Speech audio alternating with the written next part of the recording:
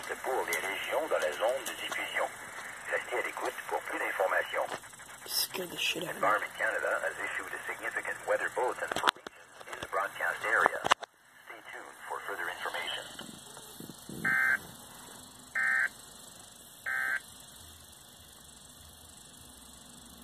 Environment Canada has updated a severe thunderstorm warning for New Brunswick at 6.29 p.m. Atlantic Daylight Time, Friday, 29th, 2018.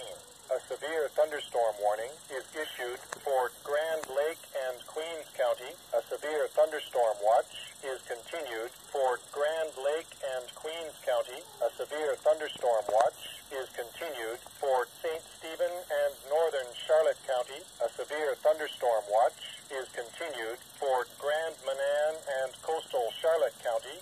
Forecasts for New Brunswick issued at